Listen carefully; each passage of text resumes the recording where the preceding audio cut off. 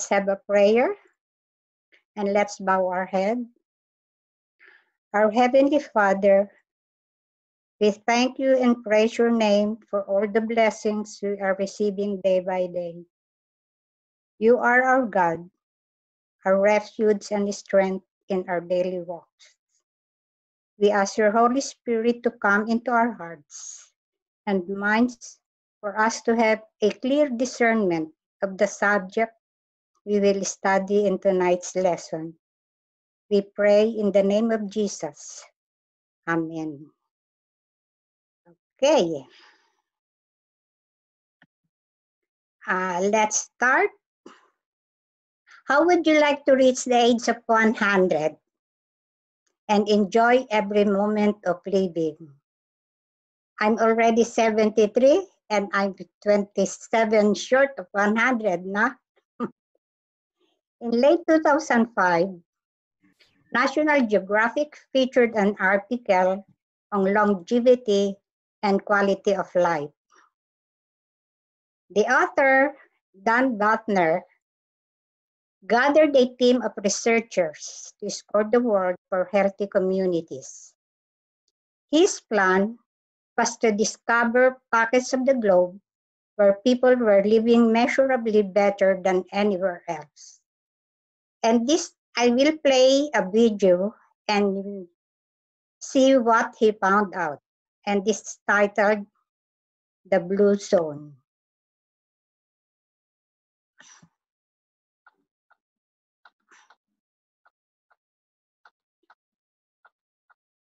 Only about 10% of how long the average person lives is dictated by our genes.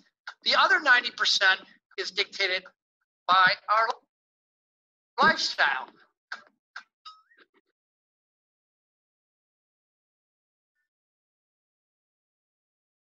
We're leaving about 12 good years on the table.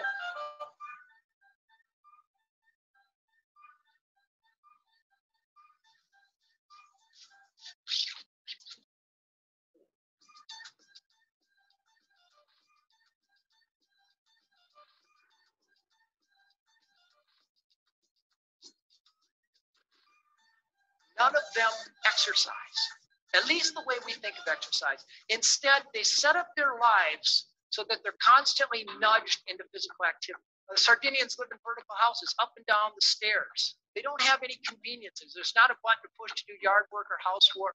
If they want to mix up a cake, they're doing it by hand. Here we have this area where men live the longest. Where people not only reach age 100, they do so with extraordinary vigor. Places where 102 year olds still ride their bike to work, chop wood, and can beat a guy 60 years younger than them. They have vocabulary for sense of purpose. Instead, there's one word that imbues your entire life, and that word is ikigai. And roughly translated, means the reason for which you wake up in the morning. This 100 year old fisherman was continuing to catch fish for his family three times a week. For this 102 year old woman, her ikigai uh, was simply her great, great, great granddaughter. And I asked her what it felt like uh, to hold a great, great, great granddaughter. And she put her head back and said, it feels like they have Each of these cultures take time to downshift. Sardinians pray, the Seventh day Adventists pray, the Okinawans have this ancestor veneration. When you're in a hurry or stressed out, that triggers something called the inflammatory response, which is associated with everything from Alzheimer's disease to cardiovascular disease. The greatest sort of diet suggestion ever invented is known as the Hara Hachibu diet simply a little saying these people say before their meal to remind them to stop eating when their stomach is 80% full.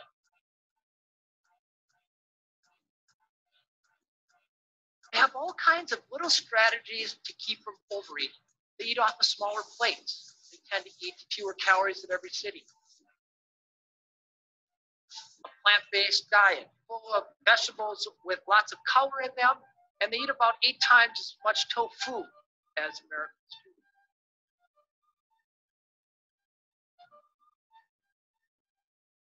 Doesn't mean they don't eat meat, but lots of beans and nuts. Then the foundation of all this is how they connect. put their families first, take care of their children and their aging parents. And then hardwired right in the religion are nature walks. They also belong to the right tribe. They were either born into or they proactively surrounded themselves with the right people. Uh, they all tend to belong to a faith-based community.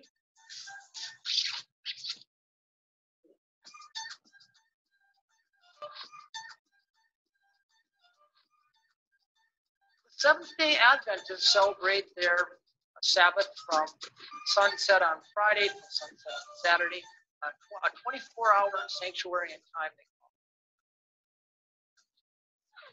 You know, these people drink a little bit every day, not a hard sell to the American population.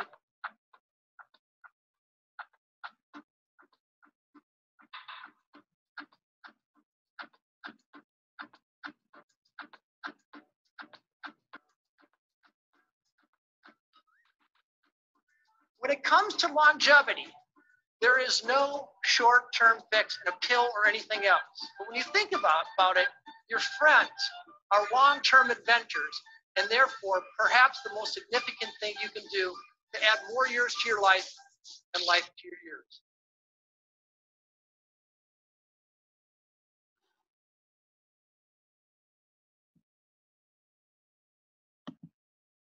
So, we have learned from the, that video that four groups or communities and that each group has both the longevity and vitality of life.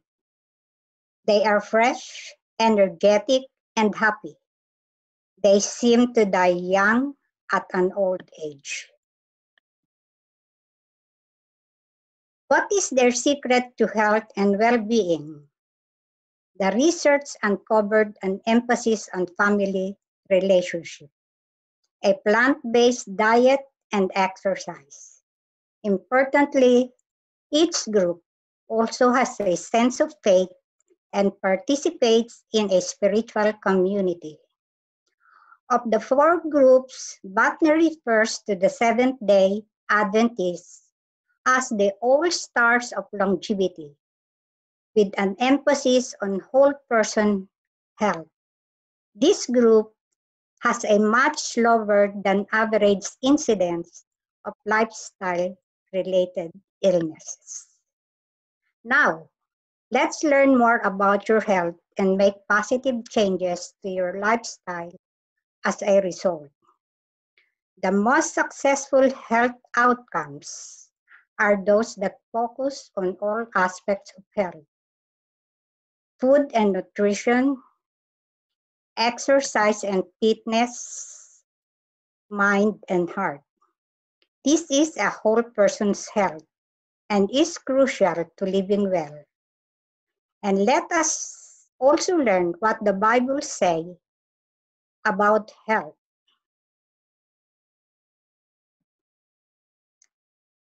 Is there any connection between our physical health and spiritual health?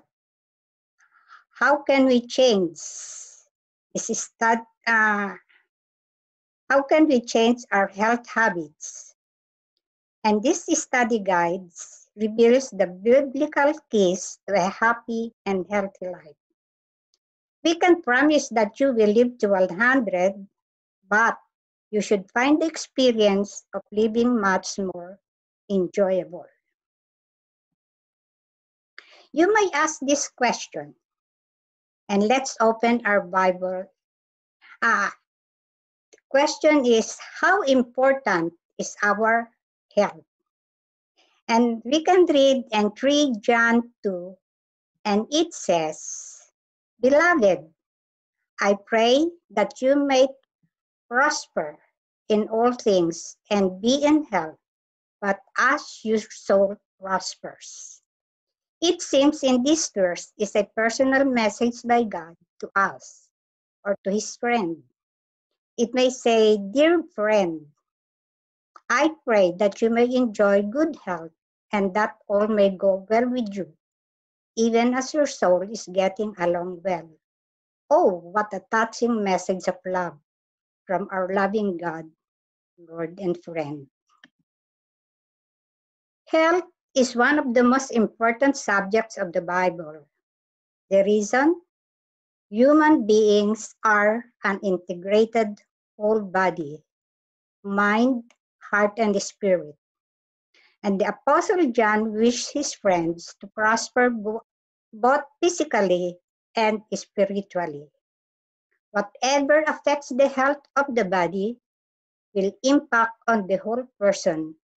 This includes the way we feel, think, and interact in our relationship. When you nurture your body physically, your mind will also be active. A clear mind helps connect to God spiritually. A spiritual life provides a life purpose to be passionate about. This forms of a platform for a true health and happiness. Why did God give his people laws of health? In Exodus 23 25, we read, So you shall serve the Lord your God, and he will bless your bread and your water, and I will take sickness away from the midst of you. God gave his people health love to protect them from sickness and keep them from premature and unnecessary death. As the Creator God, He knows what is best for our health. God gave the prophet Moses a number of principles that are still very important today. And some of these principles include diet, hygiene, sterilization, morality, rest, and quarantine. Quarantine, very much popular today because of this COVID-19 that affects almost the whole world. This measure of seclusion was also imposed during the days of Moses. The sick or those who had an issue be secluded in the camp to prevent contagion or contamination to others who are well.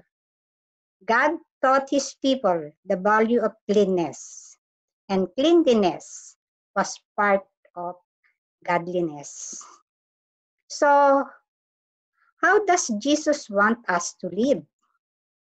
And he says in John 10 10, I have come that they may have life and that they may have it more abundantly. Health is not just the absence of pain and disease, it is the presence of vitality and abundant life. God's concept of health is an exchange. Something worse for something better, destroying for restoring, hollow for satisfying, and God wants us to flourish, to have energy, vitality, radiance, optimism, resilience, be enthusiastic, to have meaning, to have purpose, fulfillment, joy, activation, empowerment, inspiration, and satisfaction. And basically, to love life. An abundant life includes the personal presence of Jesus. In fact, a Christless health is really no health at all. Jesus provides us with peace, assurance, and hope, not just healing and restoration, much more, a life of health and happiness beyond our imagination. True health means living a full and abundant life, free as much as possible from the burden of disease. It's about living more. The World Health Organization agrees, stating health is a state of complete physical, mental, and social well being, and not merely the absence of disease or infirmity. Health is an underrated gift which we often take for granted, or worse still, neglect or destroy it. That is until we lose it. So, what does the Bible call our body? In Corinthians 6 80, uh, 19 and 20, it says, Or do you not know that your body is the temple of the Holy Ghost? Therefore, glorify God in your body. Some people have the attitude, oh, it's my body. What can do? I can do what I like with it. But human life is a huma, is a home for the Holy Spirit. As such, we have a responsibility to nurture and nourish our body to ensure it is in the best possible condition to maintain a loving relationship with God. If the mind is dulled through sickness, then God's communication is made more difficult and spiritual growth is stunted.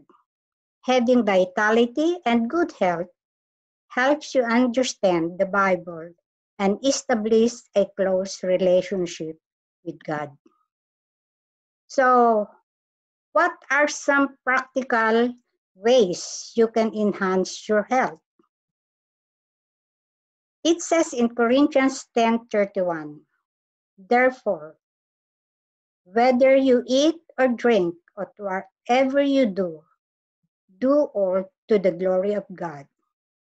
So here are 10 practical principles to live a happy, healthy life. And all of them are consistent with biblical principles. And many of them are directly mentioned in the Bible. Number one is breath fresh air. Pure air in the lungs does wonderful things for our health. Our lungs are clean, and the blood is purified, and our brain receives a special boost of energy. Fresh air also soothes the nerves and keeps our mood positive and optimistic. We spend so much time stuck in the dust and stale air of houses, schools, and offices. It is vital that we ventilate our homes and get out into the fresh air. Venture out for a morning walk. Take a stroll down by the seaside or climb a mountain and take a deep breath, and you will just feel good. Fresh air contributes to good health and positive well being. Inhaling fresh air nurtures almost every cell in our body. Unfortunately, those of us who live in the many cities of the world are exposed to pollution in the air that can damage our health. And if it becomes concentrated over time, this can be especially stressful for those who are susceptible, such as the young and elderly, as well as those who suffer with chronic pulmonary obstructive disease, such as blocked arteries, and such as emphysema and chronic bronchitis. Those who live in environments with poorer air quality should endeavor to escape to the great outdoor as open as possible. So next we have rest. We should take much rest. Life today is too hectic. The average day is full of multitasking, commitments, and deadlines. To fit everything in, we often lose out on rest, relaxation, and sleep. Sleep researchers are discovering the importance of sleep for learning and memory, and the impact that a lack of sleep has on our health, safety, and longevity. In general, Our society is burning the candle of both ends. We need to rethink how we prioritize sleep, as it is one of the basic building blocks of good health. When Jesus said to his disciples, Come aside and rest a while, that's in Mark 6, verse 31. He knew what he was talking about. The batteries of life need to be recharged. And during the rest, the body is restored and rejuvenated. The mind becomes calmer and clearer. There is nothing better than waking up refreshed after a good deep sleep. Finally, ensure the sleep environment has a comfortable temperature. Is not cluttered with distractions like TV and radios and make sure you have a good mattress. Secondly, avoid heavy meals, alcohol, nicotine, or caffeine before you go to bed. When you wake up, open the blinds or go out into the sunshine. If life is too hectic, make sure you take a vacation. At the very least, take time just to chill out in nature and relax for a while. Jesus gave us the Sabbath rest. This is time for our whole person to rest and connect with God, family, and friends. And God says in Exodus 28 to 11, Remember the Sabbath day by keeping it holy. Six days you shall labor and do all your work, but the seventh day is a Sabbath to the Lord your God.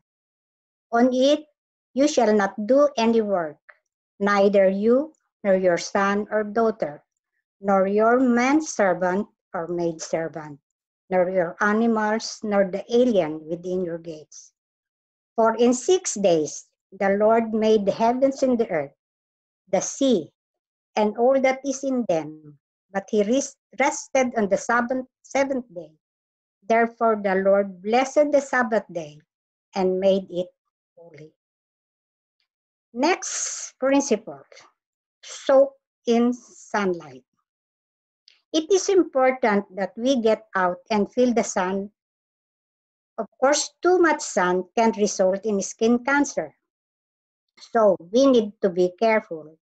But exposure to sunlight on our skin produces the very necessary vitamin D, and it's called the sunshine vitamin. Vitamin D helps the body absorb calcium, which strengthens the bones. Up to 15 minutes of sunlight a day boosts the immune system and helps reduce the risk of cancer. Sunlight aids mental concentration, gives more energy, and can even lower blood pressure. Sunlight also nurtures our emotions and minds. Tests have shown that the life-giving rays of the sun help people who battle with mood swings and depression, said Dr. Norman Rosenthal. We are all familiar with the sun's safe message regarding protection from harsh UV rays in our climate using sunscreen, protective clothing, and others. In Australia and New Zealand, we have an abundance of sunlight to enjoy. Next principles, enjoy life. Our mental attitude to life has a major impact on our overall health. And the Bible says, a merry heart does good like a medicine, but a broken spirit dries the bones. Says in Proverbs 17, verse 22. So be an optimist and have good luck once in a while. According to author Jane Campsey, adults laugh on average only 15 15 times per day, while kids enjoy a giggle up to 400 times per day. Laughter relieves the symptoms of stress through releasing endorphins from the brain. And according to research, researchers, Dr. Lee Berk and Dr. William Fry from Loma Linda University, happy, joyful laughter produces measurable changes in a person's immune system. Our mental attitude to life has a major impact on our overall health. There are many other ways for you to feel the experience of enjoying life and try your hand at one of the arts play. Write or sing music, write poem or book, create a short film, or paint a picture. Go down to the beach, fly a kite, go shopping with friends, read a good book, and just discover what you are passionate about and do it. Next principles drink water. Humans cannot survive for very long without water. The body is at least 60% water and is vital for the daily functioning of the body. Water transports nutrients to the vital organs of the body and cleanses the body of waste. Water also lubricates our joints and aids in digestion. The benefits of drinking plenty of water includes less headaches, enhanced memory, replenish skin, improved immune system, reduction in the risk of some cancers, and weight control. Experts suggest we drink at least 8 to 10 glasses of water per day. Water can also be effective natural treatment for illness. Hydrotherapy is an ancient form of water, water treatment that uses the stimuli of hot and cold, along with the sensations of water on the skin. This can stimulate the immune system, improve circulation, and reduce stress. We all know water is essential to life. This obviously essential to achieving good health. The human body is made largely of water, and excluding the water we drink, we also get some foods and other drinks. Not all fluids are created equal, however. Beverages with added sugar, alcohol, and caffeine should be limited. Next is nurture your relationship. At the heart of human need is to love and be loved. People who have quality relationship and regularly experience social time are likely to be healthier and happier. To nurture your relationship, you need to spend quality time. Try telling those close to you how much they mean to you. Write them a letter or even a quick SMS message. If you have a disagreement, ensure you don't carry around a grudge. Allow yourself to forgive and forgiven. Connecting with the community also can enhance health. Try joining a local community group. Volunteer and help others. So why not create a community garden in your area? For the Christians, the most precious relationship we have is our friendship with God. As you spend time with Him, you will find your whole person health and happiness growing. Hmm. Next. Oh. Be active. At creation, God appointed Adam and Eve to do work that involved exercise. Genesis 2:15. Being active provides a variety of very important benefits to our health. Exercise reduces worry and stress, builds muscle, reduces fat, helps us feel good, and reduces the risk of heart disease. Unfortunately, many of us today have jobs that involve very little exercise. It is vital that we still make time in our busy bustle to create in movement for our body. If you are just starting, then begin slowly. the aim is to get to a point where your heart rate increase while you exercise. The importance of walking. Walking is often viewed as the best exercise with an aim of at least 30,000 steps per day. Exercise is cumulative, so even if you move your body for 15 minutes, two to four times per day, you will be gaining the benefits of being active. Most of all, find an activity you really enjoy. You will not only get fit and healthy, you will feel good while you do it. More and more research is recognizing incidental and planned activity and decreased sedentary time as being important influences on our health. Western lifestyle has made inactivity a normal part of our lives. It is not common for individuals to spend three or four hours a day commuting to work on top of eight or more hours sitting at a desk, as well as six to eight hours of sleep per day. This doesn't leave much time for movement, let alone planned physical activity, and is related to chronic disease. Next is eat well.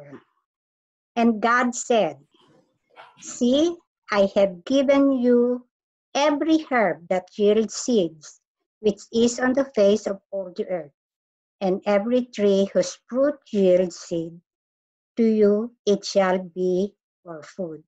That's in Genesis 1, verse 29.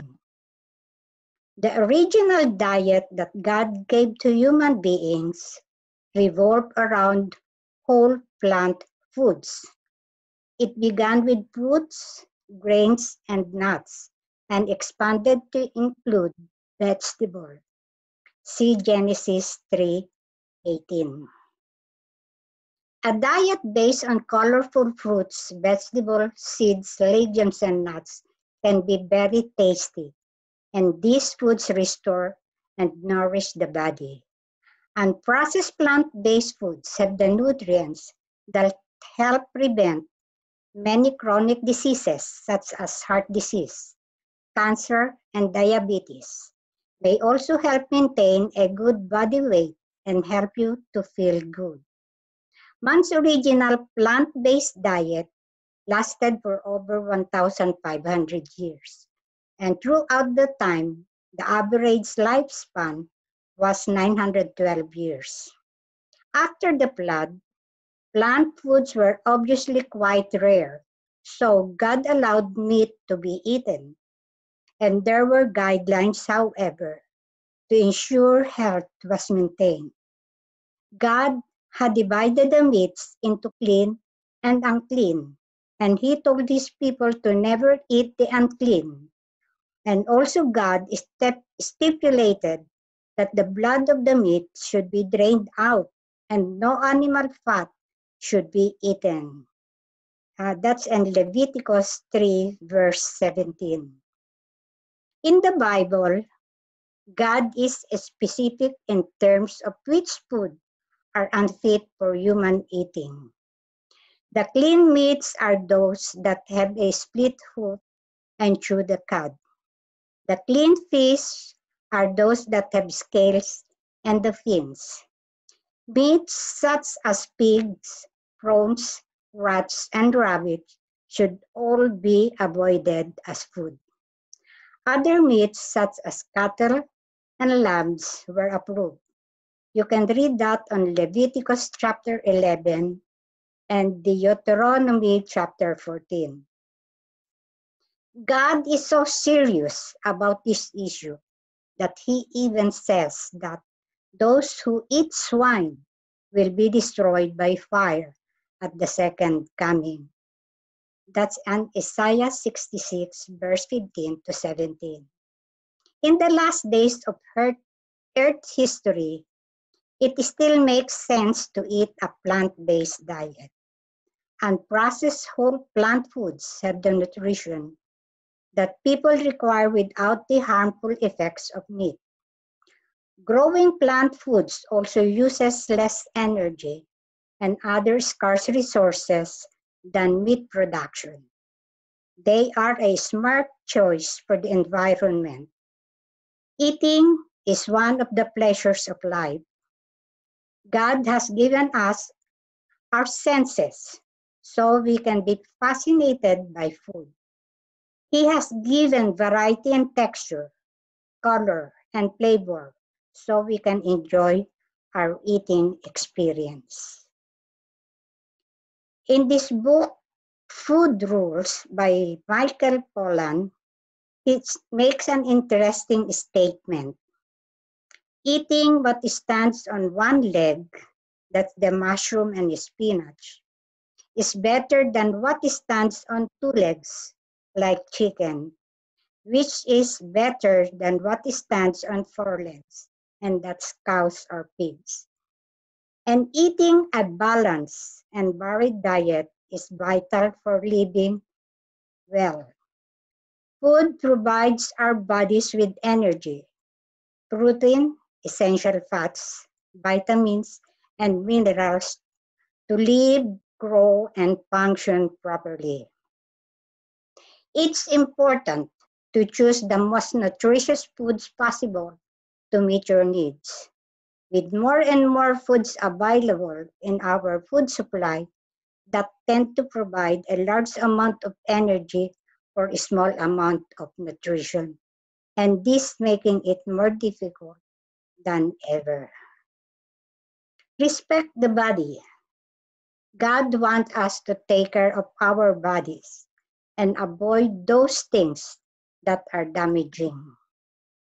If anyone defiles the temple of God, God will destroy him.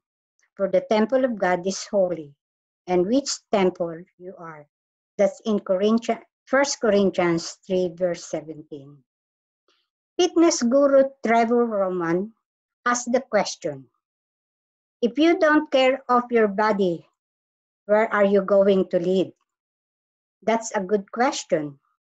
If we mistreat our bodies, we may not get a second chance. To it, suppose you knew you would only ever have one car in life. How would you look after it? So we would ensure it received good fuel, good oil, and good maintenance. So to illustrate, we, we only ever have one body. We should care for our body as if it is the most priceless treasure on earth. So how will you respect the body? So we need to avoid some of the dangers we need to avoid are alcohol. Drinking alcohol is unwise and inconsistent with the Christian life, lifestyle. It says in Proverbs 20, verse 1 Wine is a mocker, a strong drink is a brawler, and whoever is led astray by it is not wise. So there are some studies that suggest positive health benefits from moderate wine consumption. However, many of these same benefits can be gained from other juices and foods. Also, alcohol can negatively impact on the vital organs of the body. This includes the brain, liver, and kidneys. In 2005, the Sydney Morning Herald reported a new research with a headline Sovereign study says even one drink can do you harm. The research indicated that even small quantities of alcohol increase the risk of heart disease. Back in the 1990s, researchers discovered that even just one or two drinks decrease the brain's ability to gather information, impairs memory, perception, and judgment. With all the attraction and temptation of the world, we need a mind that is clear and in tune with God. In the Bible, the word wine can mean either fermented wine or the pure juice from the grape. God is so definite in his opposition to fermented wine that he says we shouldn't even look at it in Proverbs 23 29 to 32. The wine that Jesus created at the marriage feast was the good wine, the same sort of wine described by the prophet Isaiah as new wine that is found in the cluster Isaiah 65, verse 8.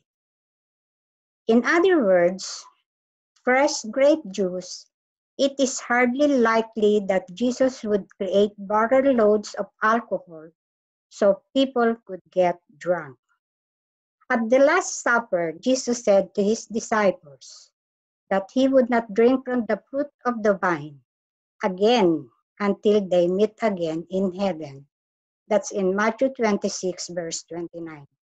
So once again, there will not be fermentation and alcohol in heaven. Clearly, Jesus was drinking the pure grape juice, fresh from the vine. So next is drugs and nicotine. Although cigarettes and contemporary drugs are not specifically mentioned in the Bible, the principles of not destroying your body is found in the scriptures in 1 Corinthians 3 17. Drugs and cigarettes are major causes to the health of people within our community. The poison affect the blood and cause a range of life-threatening diseases. God created you to be happy and healthy. The last thing he wants is for you to be smoking or taking drugs. There are many subtle forms of drugs today that are also causing illness. Try drinking some herbal teas as a replacement to tea and coffee, or fruit juices as a replacement for high energy drinks your body will be better for the change. So the last principles is trust in God. Trusting in God takes away the weary and stress of life. We know that many diseases originate in the mind. In particular, guilt and fear can affect the whole body. Trusting in God brings inner peace and hope for the future. Even if we follow the laws of health, it is still God who brings health and healing.